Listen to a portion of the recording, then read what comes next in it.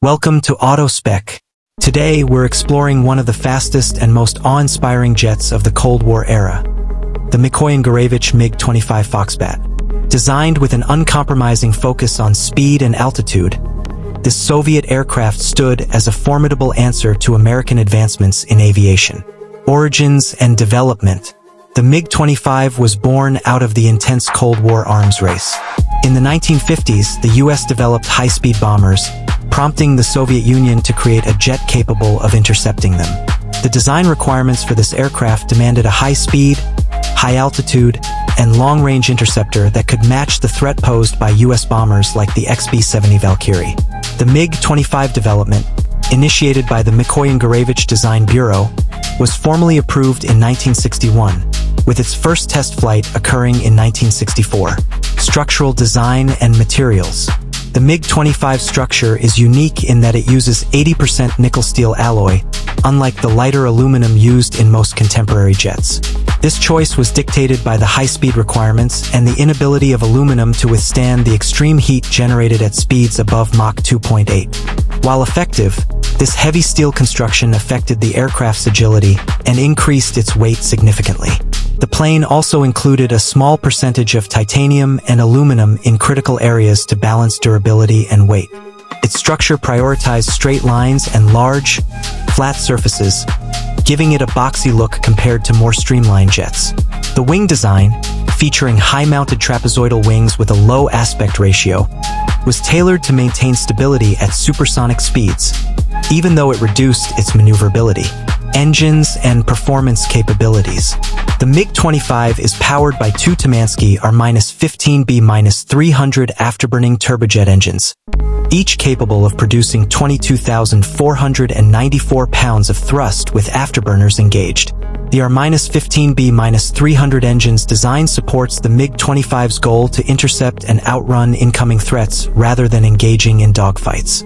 These engines allow the MiG-25 to reach speeds of up to Mach 3.2, about 2,190 miles per hour, in short bursts, but pilots typically restricted the jet to Mach 2.8 to avoid damage from excessive heat, which could degrade the engine's lifespan.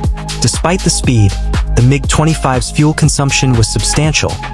At top speeds, its tanks could deplete rapidly, necessitating it to refuel midair if operating at its highest potential for extended missions.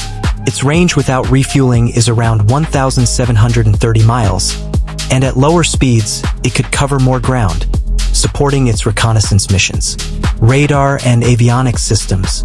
The RP-25 Smerch radar in the MiG-25 was one of the most advanced systems in Soviet aircraft during its time. This radar was specifically designed to detect fast, high-flying targets, a critical feature given the MiG-25's primary role as an interceptor. The Smerch A radar could lock onto targets at a range of up to 100 kilometers, detecting high-speed threats far ahead. Additionally, the MiG-25 included a limited autopilot system, which simplified straight-line flight, crucial for high-altitude missions.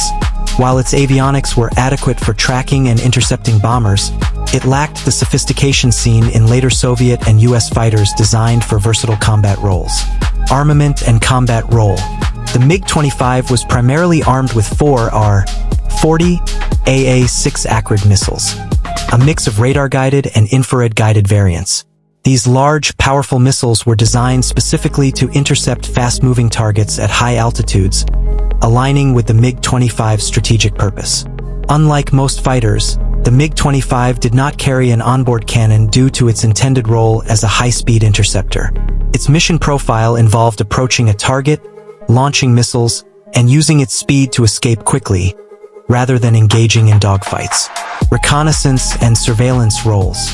Beyond interception, the MiG-25 saw extensive use as a reconnaissance aircraft, especially in the MiG-25R and MiG-25RB variants.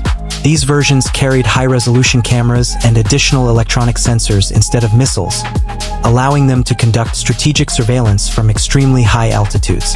During the 1970s, it conducted high-risk reconnaissance over the Middle East, where its altitude and speed allowed it to avoid enemy fighters and anti-aircraft missiles. Operational history and achievements. First revealed to the world in 1967, the MiG-25 initially baffled Western analysts, who overestimated its agility and combat potential. This jet's first notable combat test came during Middle Eastern conflicts, particularly in the Yom Kippur War, where it performed reconnaissance missions for the Egyptian Air Force. In 1976, Soviet pilot Viktor Belenko famously defected to Japan in a MiG-25, allowing Western powers to closely examine it for the first time. The examination revealed the MiG-25's limitations in agility but confirmed its reputation as a high-speed interceptor. This event directly influenced the design of the US F-15 Eagle, intended as a response to the MiG-25's performance. Limitations and criticisms. While exceptional in speed, the MiG-25's design came with compromises. Its limited agility made it ineffective in close-range combat, and its extreme fuel consumption curtailed its operational range at high speeds.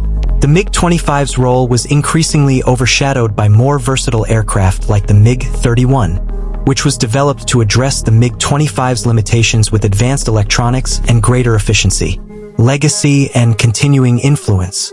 The MiG-25 is one of the few aircraft that could fly at Mach 2.8 for extended periods, setting numerous speed and altitude records, some of which still stand. Its legacy lies not only in its operational impact, but also in the influence it had on Western aircraft development. The United States was inspired to advance its own aircraft capabilities, leading to the creation of the F-15, an aircraft with greater flexibility and close combat skills. Today, only a few MiG-25s remain in service in countries like Syria and Algeria. Even in retirement, the MiG-25 is remembered as a remarkable engineering feat, a fast and high-flying answer to the demands of Cold War aviation.